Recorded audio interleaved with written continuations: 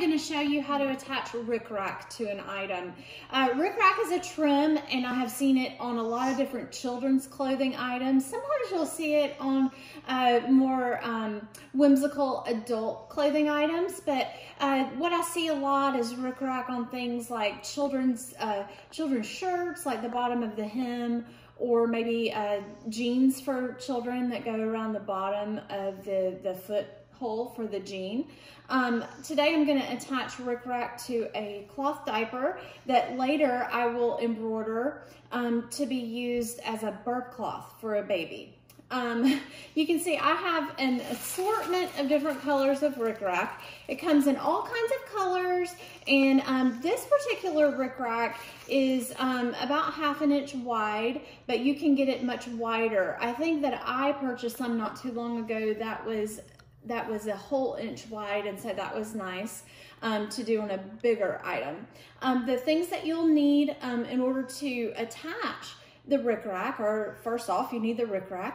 You need the item that you're gonna attach it to, your sewing machine, coordinating thread, scissors, a lighter, and straight pins. The most obvious question you may have so far is why do you need a lighter? Well, I use a lighter as my method to uh, prevent fraying on the, uh, on the nylon um, rickrack. The, the nylon in itself uh, is obviously, it, it, it's very meltable and so this is a very good method um, of securing um, the, the fibers so that they will not fray. Um, please note that if, um, if a child is doing this project, adult supervision is required. Um, this is fire and it will burn you, so be careful. you have an example here of an edge that has already been, um, been secured and singed. And you can see there's no fraying. Uh, but this one over here is looking pretty rough. So what I'm gonna do is I'm just gonna kind of trim it off a little bit.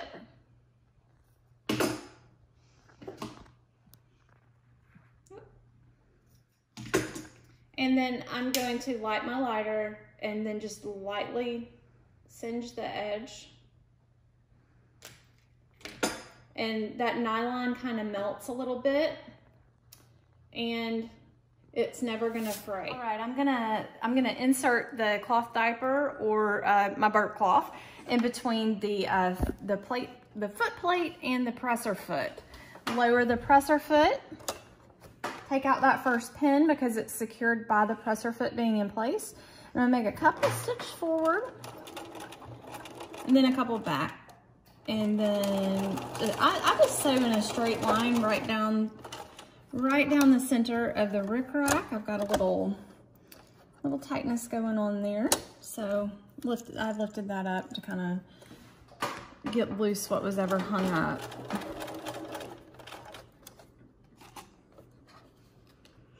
And just keep going straight. And you see how I'm keeping this little groove that's in the that's in the presser foot, just keep that all the way going down the center of your rickrack.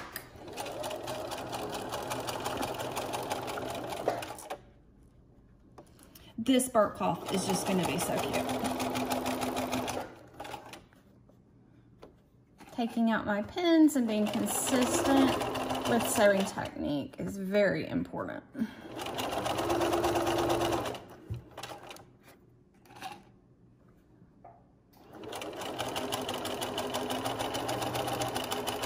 All right, we're almost done with that row.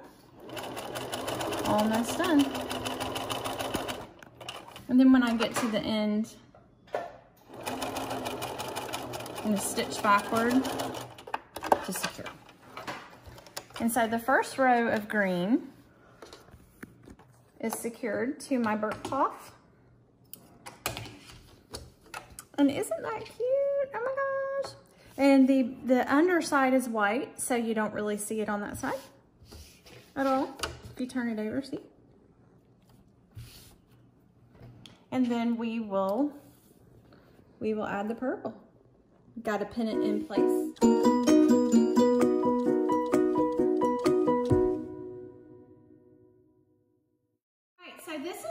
Finished burp cloth. I did not record um, my attaching the final green strip of rickrack um, because it was so repetitive, but I thought you would kind of get the idea of what, what I was doing. Um, this is gonna make a really cute burp cloth. Please, please practice attaching rickrack to um, burp cloths or to children's t-shirts or to jeans, whatever you wanna do. It's a really fun way to embellish things and make them more fun. I hope you have a good time with this. Thank you for watching and subscribe.